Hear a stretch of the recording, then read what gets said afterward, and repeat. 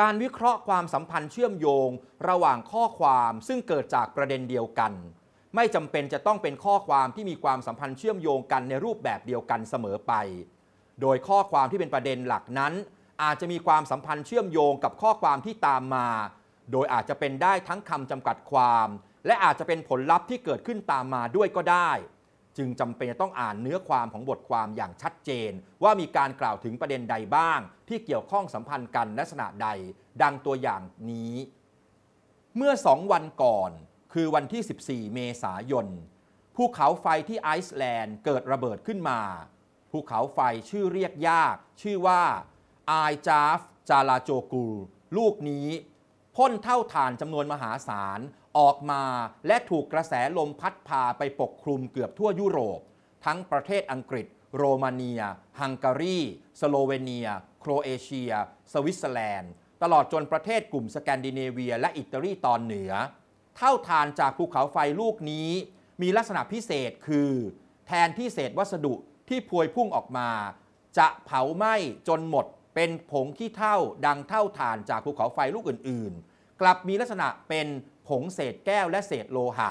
ซึ่งเป็นอันตรายมากต่อเครื่องยนต์ และพื้นผิวด้านนอกของเครื่องบิน รวมทั้งกลไกของระบบนำทาง ดังนั้นเท่าฐานจำนวนมหาศาล จากเจ้าไอจาฟจาลาโจกุล ซึ่งส่งผลกระทบมากมายที่สำคัญคือทำให้ต้องหยุดการบินในยุโรปเกือบครึ่งหนึ่ง นอกจากนี้ยังทำให้สุขภาพประชาชนแย่ลง เพราะสูดหายใจเอาผงเท่าฐานเข้าไป รวมทั้งทำให้พืชผลการเกษตรเสียหาย เพราะถูกเท่าฐานปกคลุมไปทั่ว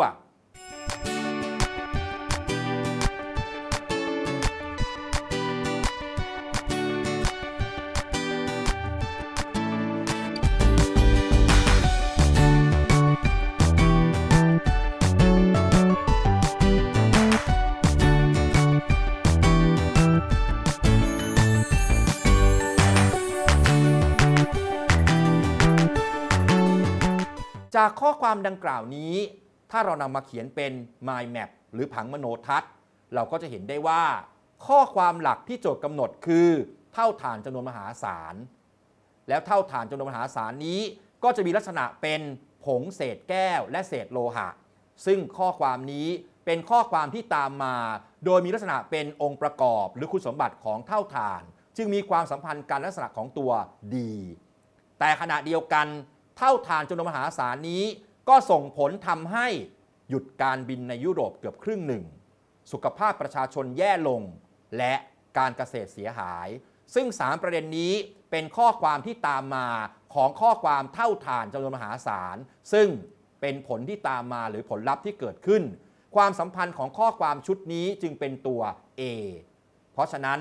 เราก็เห็นได้ว่าจากข้อความเท่าฐานจำนวนมหาศาลนั้น มีความสัมพันธ์ด้วยกัน 4 ข้อความที่ตามมา แต่ข้อความหนึ่งเป็นเพียงองค์ประกอบ หรือเป็นคุณสมบัติ แต่อีกข้อความ 3 ข้อความนั้น สัมพันธ์ลักษณะของการเป็นผลลัพธ์ หรือผลกระทบ ซึ่งก็สามารถเป็นเช่นนี้ได้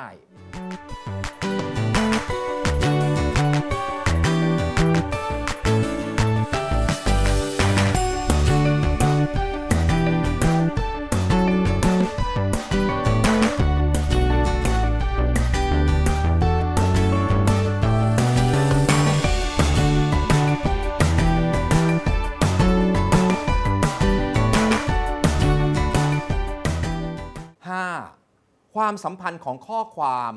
ที่มีลักษณะเชื่อมโยงกันแบบข้อความที่เป็นประเด็นหลักเกิดขึ้นมาก่อน แล้วจะมีข้อความที่เกิดขึ้นตามมาในลักษณะของเงื่อนไขนั้น อาจจะมีการเขียนในลักษณะแบบตรงไปตรงมาก็ได้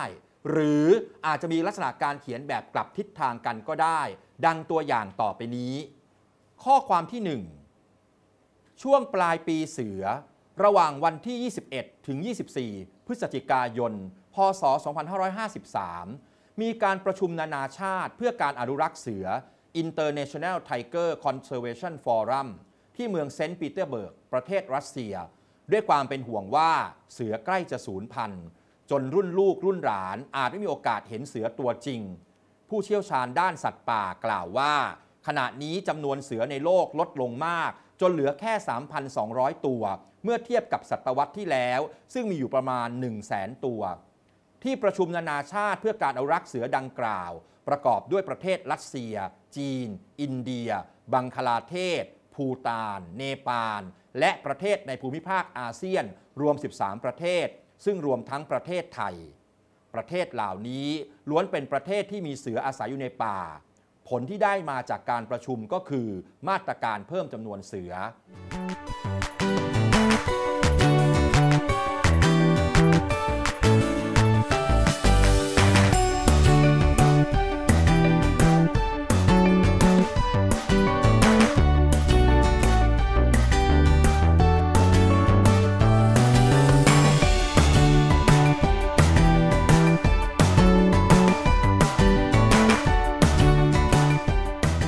จากข้อความในย่อหน้านี้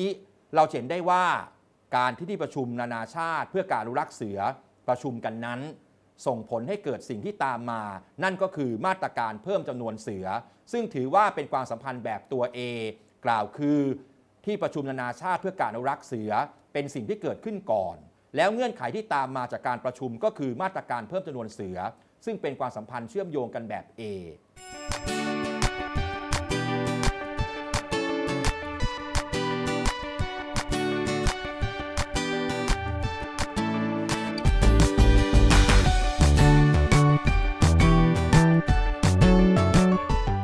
ตัวอย่างที่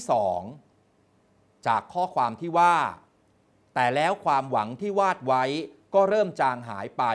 เมื่อปัญหาหนี้เสียของธุรกิจอสังหาริมทรัพย์ในสหรัฐ เริ่มพ่นพิษ สถาบันการเงินขนาดใหญ่ในสหรัฐ ประสบความหายนะถึงขั้นล้มละลาย ในเดือนกันยายน รัฐบาลสหรัฐต้องเข้าควบคุมกิจการของบริษัทสินเชื่อ เพื่อที่อยู่อาศัยรายใหญ่ของสหรัฐ 2 บริษัท คือ Fannie Mae กับ Friday Mac เนื่องจากปัญหาการขาดทุนในตลาดสินเชื่อ การเข้าช่วยเหลือสถาบันทั้งสองแห่งนี้ คือสัญญาณของวิกฤตการณ์ครั้งใหญ่ในตลาดสินเชื่อของสหรัฐ ซึ่งต่อมาได้ส่งผลสะเทือนต่อตลาดการเงินอย่างรุนแรง เศรษฐกิจโลกชะลอตัวลงเรื่อยๆ จนถึงขั้นเศรษฐกิจถดถอย ภาวะเศรษฐกิจถดถอย ซึ่งเกิดจากปัญหาหนี้เสียดังกล่าวข้างต้น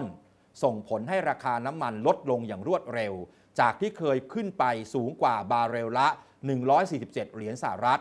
ลงมาเหลือประมาณ 40 เหรียญสหรัฐ เท่านั้น นอกจากนี้ยังเป็นเหตุให้ราคาข้าว ข้าวโพด และมันสำปะหลังลดลงอย่างน่าหลีกเลี่ยงไม่ได้ เราสังเกตได้เห็นว่าในสองย่อหน้านี้มีความน่าสนใจอย่างยิ่ง นั่นก็คือปัญหาหนี้เสียธุรกิจสังหาริมทรัพย์ของสหรัฐที่กล่าวไว้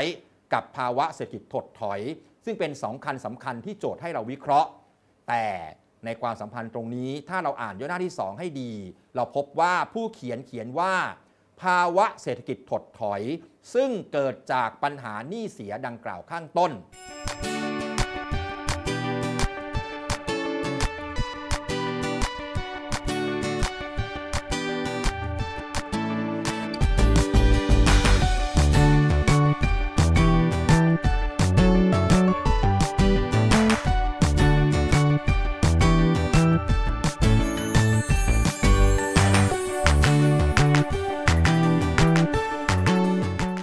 ความนี้ก็หมายความว่า ปัญหาหนี้เสียนั้นจะเป็นข้อความหลักหรือเป็นเงื่อนไขสำคัญ ที่ส่งให้เกิดเหตุการณ์ที่ 2 ตามมา คือภาวะเศรษฐกิจโลกถดถอย ดังนั้นเมื่อเราจะมองความสัมพันธ์เชื่อมโยงของสองข้อความนี้ เราจึงต้องเขียนลักษณะว่า ปัญหาหนี้เสียเป็นข้อความหลัก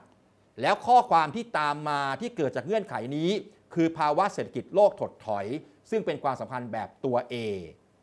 ซึ่งผู้อ่านจำเป็นจะต้องให้ความสำคัญกับลักษณะการเขียนแบบกลับทิศทางที่ดังได้บอกไปแล้วให้เข้าใจ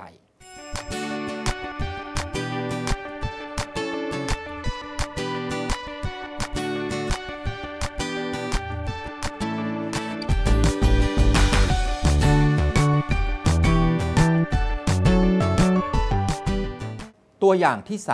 3 เหตุสำคัญของปัญหาวัยรุ่นอีกอย่างหนึ่ง คือปัจจัยเสี่ยงในชุมชนและสังคม ได้แก่การที่เด็กเข้าถึงอบายมุขเหล้ายา อาวุธ สื่อลามก และสิ่งยั่วยุทั้งหลายได้โดยง่าย เมื่อทัศนคติของชุมชนเองก็ยอมรับสิ่งเหล่านี้ และผู้ใหญ่เองก็ทำผิดให้เด็กเห็น เด็กก็ย่อมซึมซับรับเอาพฤติกรรมที่เป็นปัญหานี้มาปฏิบัติบ้าง ปัจจัยเสี่ยงทั้ง 3 ประการ ล้วนเป็นเหตุที่ทำให้เกิดปัญหาต่างๆ ทั้งปัญหาติดยาเสพติด ติดสุรา ติดการพนัน ชอบความรุนแรง ตลอดจนการมั่วสุมทางเพศและปัญหาอื่น ๆ ดังนั้นหนทางในการแก้ปัญหาก็คือต้องป้องกันหรือลดความเสี่ยงต่างๆ ลง และที่สำคัญคือการสร้างภูมิคุ้มกันให้เด็ก ซึ่งจะเกิดขึ้นได้ก็ด้วยวิธีการเลี้ยงดูเด็กอย่างถูกต้องนั่นเอง เราจะสังเกตให้เห็นว่าในย่อหน้านี้ มีข้อความที่น่าสนใจคือ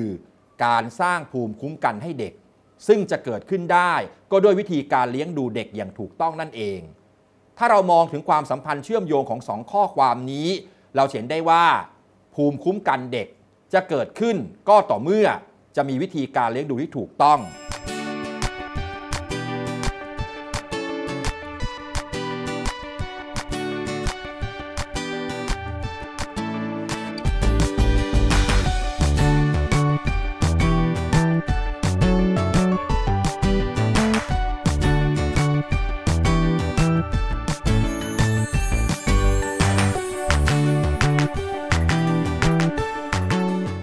ดังนั้นความสัมพันธ์ข้อความหลักจึงเป็นวิธีการเลี้ยงดูเด็กอย่างถูกต้อง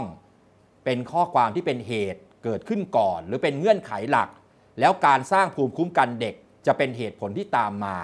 ความสัมพันธ์จึงเป็นวิธีการเลี้ยงดูเด็กอย่างถูกต้อง ส่งผลให้หรือมีสิ่งที่ตามมาคือ การสร้างภูมิคุ้มกันให้เด็ก จึงเป็นความสัมพันธ์แบบตัว A